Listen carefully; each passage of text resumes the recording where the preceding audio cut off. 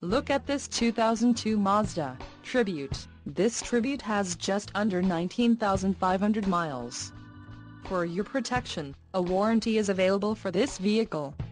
This vehicle gets an estimated 19 miles per gallon in the city, and an estimated 24 on the highway. This Tribute boasts a 3.0-liter engine, and has a 4-speed automatic transmission. Additional options for this vehicle include AM-FM stereo.